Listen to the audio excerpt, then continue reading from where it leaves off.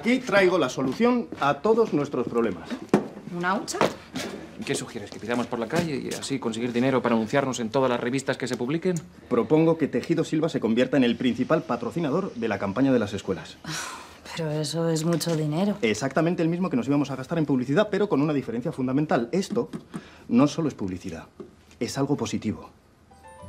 Ya sé por dónde vas. Pues a mí, como no te expliques mejor, no... Eh, Que Tejido Silva siempre acapara portadas con titulares que no nos benefician en nada, siempre relacionados con el tráfico de opio o la detención de don Ricardo. Claro, y si hacemos una buena aportación a la campaña, por fin se hablará de Tejido Silva, pero por algo bueno. Exactamente, y Tejido Silva no estará relacionado con el tráfico de opio, sino con una buena causa. Amparada además por la reina Victoria Eugenia. Eso es. ¿Eso se te ha ocurrido a ti solo? Eh, Sí. Bueno, no del todo. La señorita Celia mm, vino a traer la hucha y entonces se me ocurrió. Es una idea fantástica. Habría que hacer algunas llamadas a los organizadores. Perfecto. Buenos días, padre. ¿Cómo se encuentra hoy? Dolorido, para que te voy a decir otra cosa. Pero bien, contento de verte. Me alegra ver que está mejor. ¿Te ocupaste de lo que te pedí? Sí. Hablé esta mañana con sus proveedores, con los turcos. Y me han dicho que van a enviar media tonelada de opio a la tienda. Sabía que estás perfectamente capacitada para ocuparte de todo. Pues no, no lo estoy. No he pegado ojo en toda la noche. Padre, la tienda es pequeña. Tanta cantidad llamará la atención. Tranquila. No, no estoy tranquila. Estoy muy asustada. ¿Y si algún cliente sospecha? Carolina, ¿cuántas veces me has dicho que sabías de negocios? Que sabías cómo tratar a los proveedores, cómo organizar las tareas. Esto no es lo mismo, padre. En el fondo sí. Se trata de comprar y vender. Si te preocupa que las cantidades sean demasiado grandes, habla de nuevo con los turcos y pídeles que manden la misma cantidad, pero de manera gradual.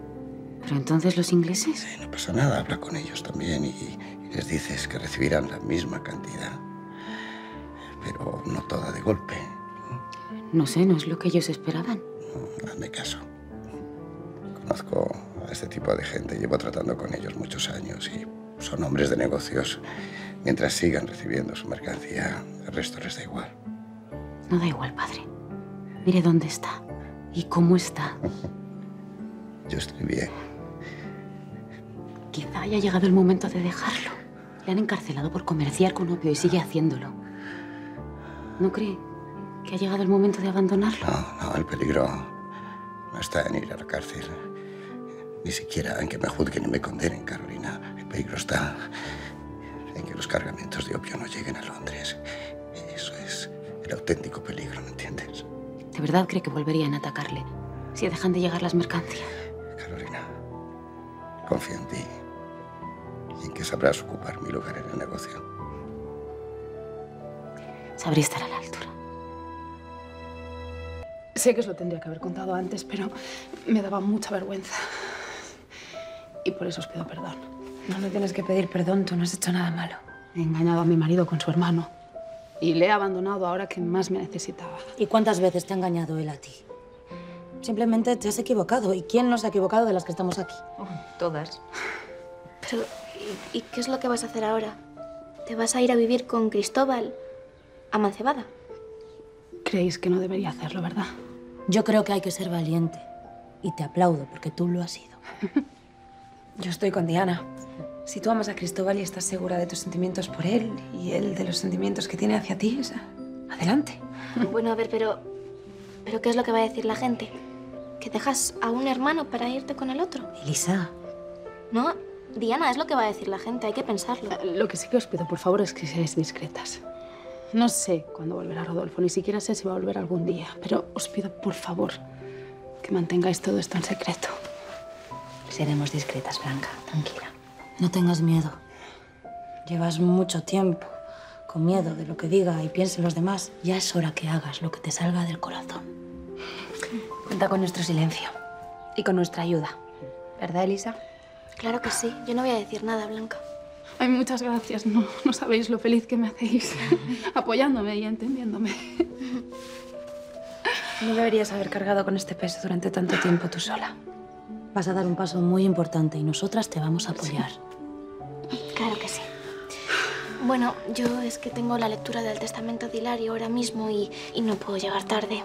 No pasa nada. Yo me voy a la fábrica también.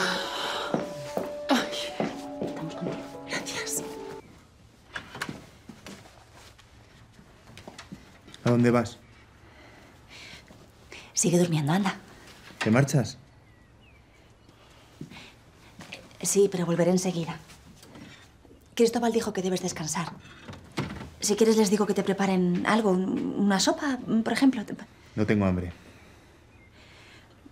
He hablado con mis hermanas con relación a lo de vivir aquí y han dicho que están de acuerdo. Estaremos un poco justos de espacio al principio, pero Celia enseguida se va a Arganzuela, así que... Son muy generosas, sí. Bueno, no. Hacen lo que deben, Luis, y lo hacen de corazón. Te cuidaremos muy bien. Y, y ahora descansando. ¿A dónde te vas?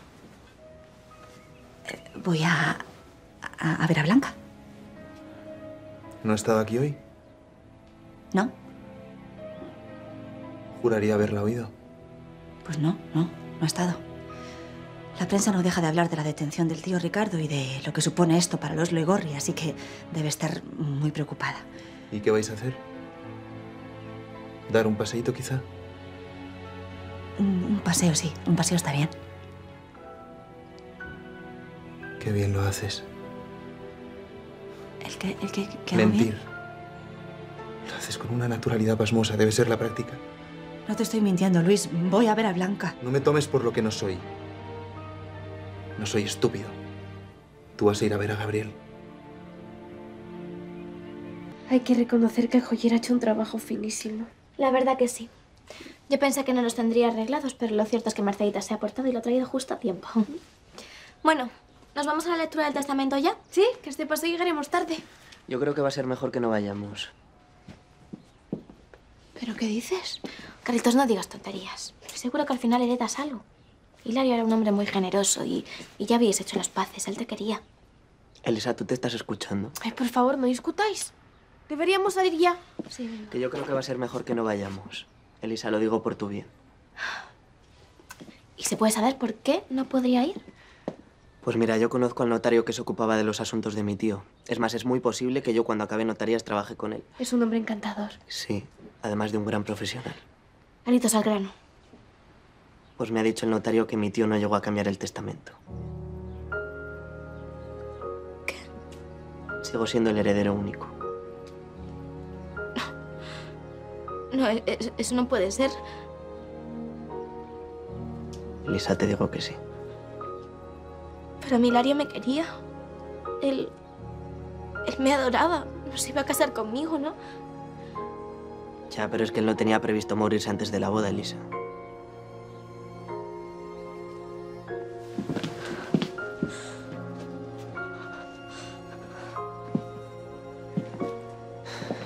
Si quieres venir con nosotros, hazlo. Pero yo te quería avisar para ahorrarte el mal rato.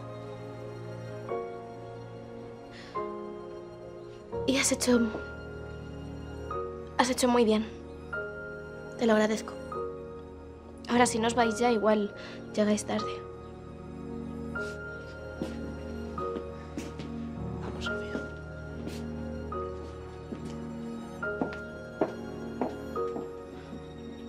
Me hubiera gustado venir antes, pero me ha sido imposible. ¿Cómo estás? ¿Pero cómo habéis podido? Créeme, no tenía otra opción. Claro que había otra opción. Negarte. ¿Y qué hubiera conseguido? ¿Que volviera a denunciarte? ¿O a mis padres? Cualquier cosa mejor que esto, Gabriel. Luis está herido. Te juro que yo no quise dispararle. Puedes preguntarle a Raimundo, él estaba allí. Lo sé. Raimundo me lo contó cuando le trajo a casa. A la gente le hemos contado que le asaltó un maleante. Supongo que Luis estará, por lo menos, furioso. Lo está. Me ha costado mucho escabullirme para venir a verte. Gabriel, tenemos que pensar en tu huida. Luis es capaz de cualquier cosa. Estoy de acuerdo. Mira, el señor Quiñones ha cancelado la gira. Pero yo tengo mi pasaje. Utilízalo tú. Huye cuanto antes. Contigo, tal y como planeamos al principio. No tenemos que coger dos barcos. Podemos ir en el mismo, Francisca. Yo no puedo. ¿Por qué no? Gabriel, Luis está herido en casa de mis hermanas. No le puedo abandonar así, en este trance. Francisca, si ese hombre está herido es porque él mismo se lo buscó. Lo sé, él te retó en duelo. Pero yo me siento culpable también. Gabriel, yo me casé con él y sigue siendo mi marido. No puedo dejarle así, de verdad que no puedo. Está bien. Entonces te esperaré. ¿Qué? No, ni hablar. Sí, sí que lo voy a hacer. Esa era la idea desde el principio, huir juntos, viajar a América y empezar una nueva vida, tú y yo. Gabriel, Luis está convaleciente, por favor. Tardará en recuperarse semanas. Esperaré. No voy a irme sin ti. No, claro que te irás. No pienso dejar que pases un día más en peligro. Cada hora que pasa aumentan los riesgos. Te puede encontrar la policía, puede hablar Luis. No voy a dejarte con ese hombre aquí. Pues deberías. Gabriel, Luis no sospecharía nada. Y si nos vamos juntos nos encontrarán.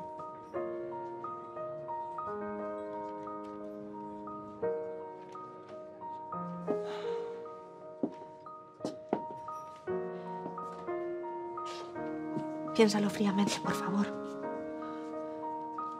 Es la mejor opción.